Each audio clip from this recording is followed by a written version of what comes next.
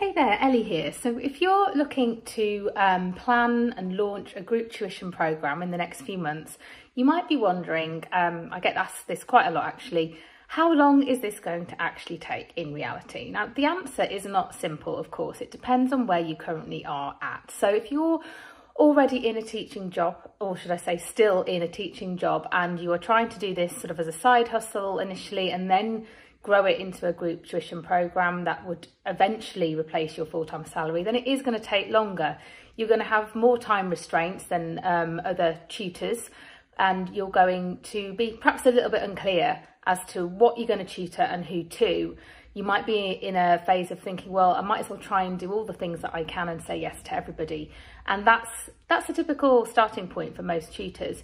Um, but it will take you longer than an established tutor who's already successfully had some one-to-one um, tutees and has got a good idea of the pitfalls of you know doing lots of one-to-one, lots of different um, you know ages, stages, uh, even subjects and levels and all that kind of thing. Um, so let me go through some of the main phases that you will go through, regardless of whether you still have a teaching job or if you've been tutoring for years, if you want to transition away from where you are and towards a group tuition model.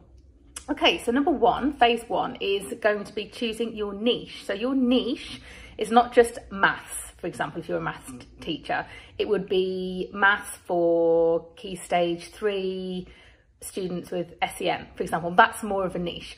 Or maths for A-level students who want to get A's and A stars because they want to go on to study maths at university that's a niche within maths. So we're going to be thinking, what's your niche? Now this can take between one and five weeks um, if you were to do this in a program like mine, um, depending on your current circumstances, as I've already described. So um, if you if so if you are still in a teaching job, it's going to take you longer um, and it's going to take you some time to really explore your niche and your messaging around that niche. So yeah, up to five weeks to really validate your program idea, decide its length, its price, um, how are you going to offer support to your students? So I recommend a hybrid of video content and group calls and uh, one-to-one -one mini feedbacks via video as well.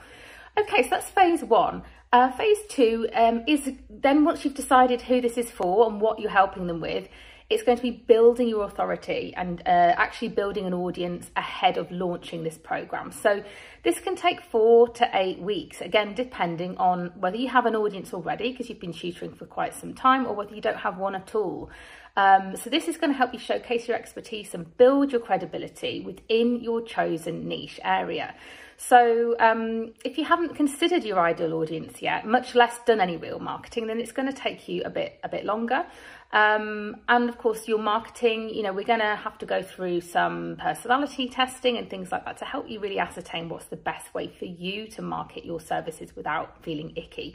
Um, and the aim here for you, whether you are an established tutor or not, is to grow a brand new audience. And that you're to need, you know, an audience of at least two to 500 people really who are interested in your tuition program in order to launch it successfully. And that, when done right, um, is easier, easier than it sounds. Um, it's not, well, what, what I should say is it's simpler than it sounds. It can be hard to understand and learn how to do that, but once you know where you're going with it, then it becomes easy.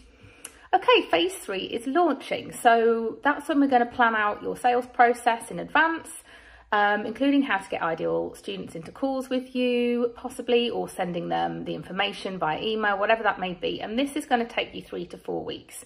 You can do a really elaborate launch, um, like doing a free, you know, workshop series or something to engage your audience and to give them value, get them to know, like, and trust you.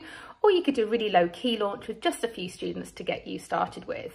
Um, and what I always say during this phase is please resist trying to create your program at this stage. You want to have it mapped out, but you want to create it as you go with your first cohort because that gives you time to really um, engage with your first cohort, figure out if what you the, the direction you want to take them in is the best direction, and you're going to learn so much from doing this with them as well. Okay, so that's this that's phases one to three, and then we go into the delivery phase. I'm going to talk a bit more about the delivery phase in my next video and also um, a little bit about what happens once you've delivered your first round of your group program. Where do you go from there? So stay tuned and I will be, um, I'll be online again soon with my next video.